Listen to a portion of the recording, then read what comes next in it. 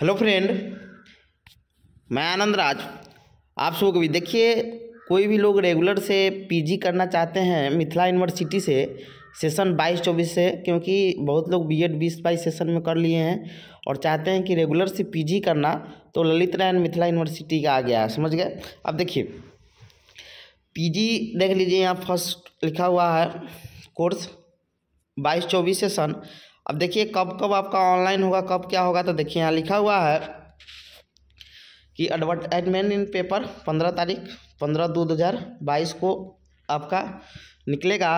फिर उसके बाद लिखा है कि ऑनलाइन जो अप्लीकेशन प्रोसेस है मतलब विथाउट फाइन एंड बिना फाइन के आपका सात सौ पचास रुपया लगेगा, जो सोलह दो दो हज़ार तेईस से एक तीन दो हज़ार तेईस तक चलेगा, समझ गए? फिर उसके बाद है ऑनलाइन एप्लीकेशन ऑपरेशन फाइन के साथ एक सौ रुपया, दो तारीख से लेकर नौ तारीख तक, समझ गए?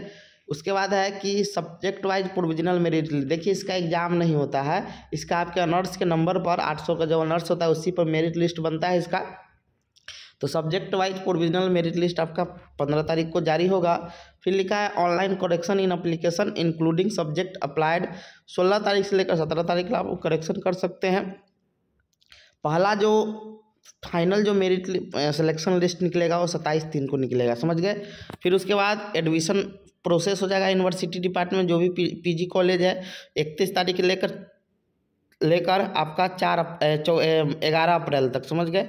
फिर उसके बाद क्लास जो स्टार्ट हो जाएगा आपका बारह तारीख से दिया हुआ है। तो जो भी लोग सेशन देखिए इक्कीस तेईस वाला इसमें नहीं कर सकते हैं क्योंकि ये बाईस चौबीस सेशन है समझ गए? जो लोग बीस बाईस में बीएड किए होंगे, वो लोग बाईस चौबीस में आराम से पीजी कर सकते हैं। तो जो भी लोग हैं, आप लोग कर लीजिए। जिन लोग करना चाहते हैं रेगुलर से पीजी तो आपका सोलह तारीख से आपका ऑनलाइन फॉर्म फिलअप होगा। जो भी लोग मिथिला यूनिवर्सिटी के आसपास के क्षेत्र के हैं, वो सोलह तारीख से आप लोग आप लोग ऑनलाइन होगा। आप लोग कर सकते हैं, सात सौ पचास रुपया लगेगा। मिथिला यूनिवर्सिटी का पीजी का सेशन भी ठीक ठाक है, समझे? जो लोग करना चाहते हैं, कर सकते हैं। जो लोग एम एड करना चाहते हैं एम एड कर लीजिए।